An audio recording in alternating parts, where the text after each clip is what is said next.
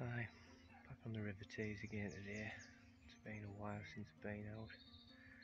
28th of December last time I was on the river. It's now the 27th Saturday, February 2021.